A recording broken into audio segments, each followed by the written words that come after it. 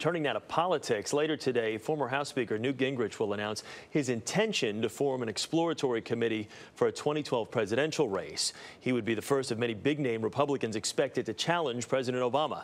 Joining us in Washington now is CBS News political analyst John Dickerson. John, good morning. Good morning, Chris. So, former Speaker Gingrich is the first big name to really kind of dip his uh, dip his toe into the pool here. Does he excite the GOP as a candidate? And let me ask you, who does he who does he really appeal to? Well, here we go. He does excite the Republican base, not like somebody like Sarah Palin, but what Gingrich has that Palin doesn't have is a long record of fighting in the arena. He fought for a balanced budget. He worked in the in the vineyards when Republicans were out of control for a long time, building the majority. So he will run on that idea of competence and also in the Republican Party right now, sticking to your principles in the middle of a fight is a big deal. And Gingrich can say, I did that for a long time in Washington. Okay, so he'll excite some.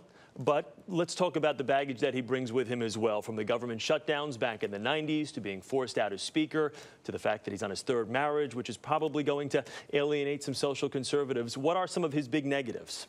Well, some of that baggage, they're trophies. He can say, I fought for these principles harder than anyone else. But as you say, the personal baggage is considerable. He's not only had multiple marriages, but he is an admitted adulterer. That matters in Republican primaries where religious voters care about that kind of thing. And also in a general election, married women are a key swing voting bloc. He has said publicly, I have sinned, and he has sought redemption. And his hope is that the American people are so serious this time around that the problems the country faces are so big that people will judge him on his ideas and not his indiscretions.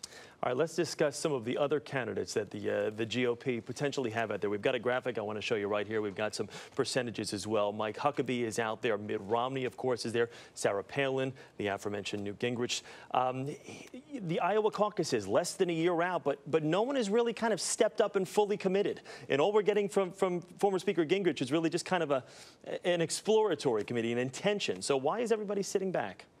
In 2008, pretty much all the candidates were on the field. John McCain was the only one who had not announced, and it was obvious he was going to run. The reason they've waited in this case is that in some cases they're very well known. The candidates don't have to get out, get their name out, uh, so they don't need to campaign to introduce themselves to people. In other cases, people like Mike Huckabee have uh, television contracts. They would give up money and a platform if they decided to run. But also in politics now, it's not like it used to be. Candidates used to think that you got out there, you raised money, you put your name out there, and you built a big sort of sense of inevitability. Well, that didn't work for Hillary Clinton. It didn't really work for John McCain in 2008. It almost didn't work for George Bush in 2000. The field is strewn with candidates like Lamar Alexander and Phil Gramm who tried to create this sense of inevitability, and basically showing up first meant you failed first. So there is a theory now that you wait and that's what all of these candidates have done so far. All right, final question for you. Facing an incumbent is tough enough. Can any of these candidates, should they emerge, do you think that they can financially compete with President Obama, whose war chest is expected to be anywhere from 750 million to potentially a billion dollars as he moves forward? It will be very, very difficult. Obama has the incumbency. He also, as you point out, had a very uh, he has a very strong uh, fundraising operation from the last time around. There has been some worry in the Democratic base about his policies.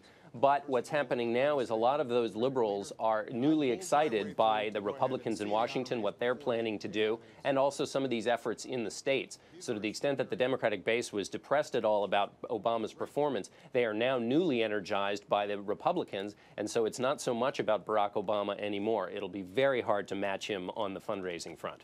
All right, John Dickerson in Washington for us this morning. John, good to talk with you. Thanks, Chris. Talk soon.